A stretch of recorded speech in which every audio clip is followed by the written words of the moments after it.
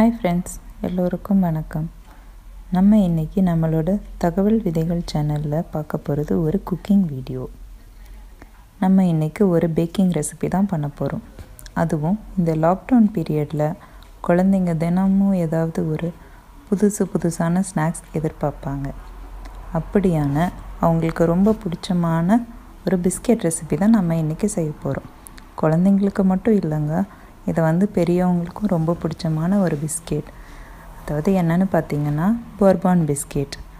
சரி நம்ம அந்த பிஸ்கெட் எப்படி செய்கிறதுன்னு வீடியோக்குள்ளே போகலாம் வாங்க. பேக்கிங் ரெசிபிக்கு ரொம்ப முக்கியமானது இன்க்ரீடியன்ஸோட அளவுங்க. நீங்கள் கொஞ்சம் அதிகமாகவோ இல்லை கம்மியாகவோ எடுத்துட்டோம் அப்படின்னா பிஸ்கெட் வந்து ஹார்ட் ஆகிறதுக்கோ இல்லை ரொம்ப சாகி ஆகிறதுக்கோ சான்சஸ் அதிகம். அதனால் நாங்கள் குறிப்பிட்டிருக்க அளவு அதே அளவில் செஞ்சு பாருங்கள் நம்ம இப்போது இந்த பிஸ்கெட் செய்கிறதுக்கான இன்க்ரீடியன்ஸை ஃபஸ்ட்டு பார்க்கலாம். நம்பர் ஒன் இன்க்ரீடியண்ட் வந்து வெண்ணெய். வெண்ணெய் வந்து ஒரு எழுபத்தஞ்சு கிராம். அதுக்கப்புறம் பவுடர்ட் சுகர் நூறு கிராம். நீங்கள் பவுடர்ட் சுகர் கிடச்சிதுன்னா கடையில் அப்படியே வாங்கிக்கலாம். அப்படி இல்லைன்னா நம்ம நார்மல் சுகரை வந்து பவுடர் மிக்சியில் போட்டு பவுடர் பண்ணிக்கலாம். அப்படி பவு நீங்கள் வந்து மிக்சியில் போட்டு பவுடர் பண்ணுறதுக்கு முன்னாடியே ஹண்ட்ரட் கிராம்ஸ் அளந்துட்டு அதுக்கப்புறமா பவுடர் பண்ணிக்கோங்க. நெக்ஸ்ட் இன்க்ரீடியண்ட் வந்து மைதா. மைதா மாவு நூற்றி இருபத்தி ஐந்து கிராம் அதாவது உங்களுக்கு இப்போ மைதா வேண்டாம் அப்படின்னு நினைக்கிறவங்க கோதுமை மாவில் கூட பண்ணலாம். பட் ஆனால் டேஸ்ட்டு கொஞ்சம் டிஃப்ரென்ஸ் இருக்கும். நம்ம கடையில் வாங்குகிற மாதிரியான டேஸ்ட்டு கோதுமை மாவில் வராது. மைதா மாவில் தான் பண்ணணும். பட் ஹெல்த் கான்ஷியஸாக இருக்கவங்க கோதுமை மாவுலேயும் செஞ்சுக்கலாம்.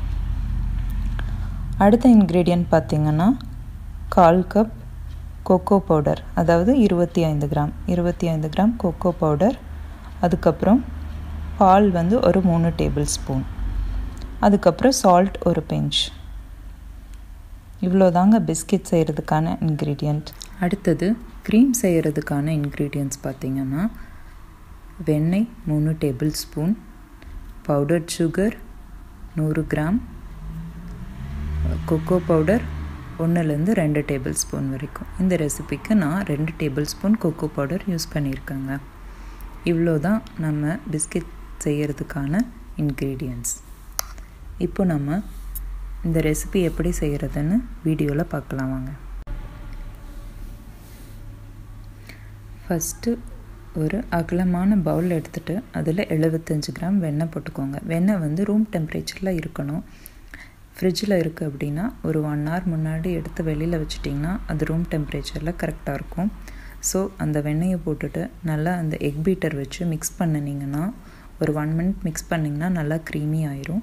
அதுக்கப்புறமா நம்ம அரை கப் பவுடர் சுகர் அதாவது நூறு கிராம் பவுடர் சுகர் எடுத்து வச்சுருக்கோம் இல்லையா? அதை போட்டு நல்லா ரெண்டையும் மிக்ஸ் பண்ணிங்கன்னா இன்னும் க்ரீமி ஆகும். அதுக்கப்புறமா ஒரு கப் மைதா மாவு. மைதா மாவு வந்து சளிச்சுக்கோங்க நல்லா சளிச்சு தான் போடணும். இல்லைன்னா கொஞ்சம் கட்டி கட்டியாக ஆகும் அங்கங்கே கட்டி கட்டியாக பிஸ்கெட்டில் வந்துடும் அதனால் மைதா மாவு சளிச்சிட்டு போட்டுக்கோங்க.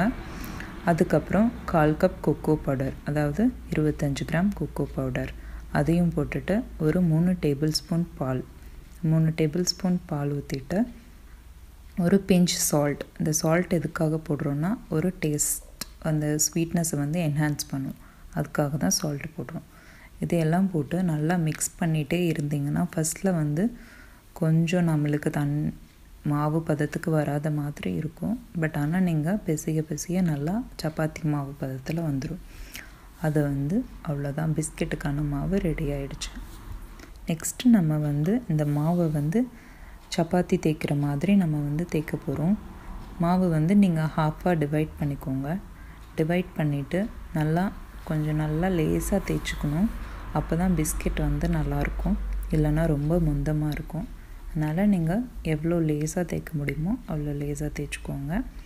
தேய்ச்சிட்டு இந்த மாதிரி சைட்ஸ்லலாம் கட் பண்ணிவிட்டு ஸ்கொயர் ஷேப் மாதிரி கட் பண்ணிக்கோங்க. சைடில் இருக்க வேஸ்ட்லாம் எடுத்து திரும்பவும் இந்த மாதிரி ரோல் பண்ணிக்கலாம். நல்லா ஸ்கொயராக கட் பண்ணதுக்கப்புறமா நம்ம வந்து இப்போது பிஸ்கெட்டுக்கு தேவையான அளவில் நம்ம வந்து பீசஸ் மாதிரி கட் பண்ண போகிறோம் இப்போ கடையில் கிடைக்கிற பிஸ்கெட் பார்த்திங்கன்னா மேலே ஹோல்ஸ் ஹோல்ஸாக பார்க்கவே ரொம்ப அழகாக இருக்கும்.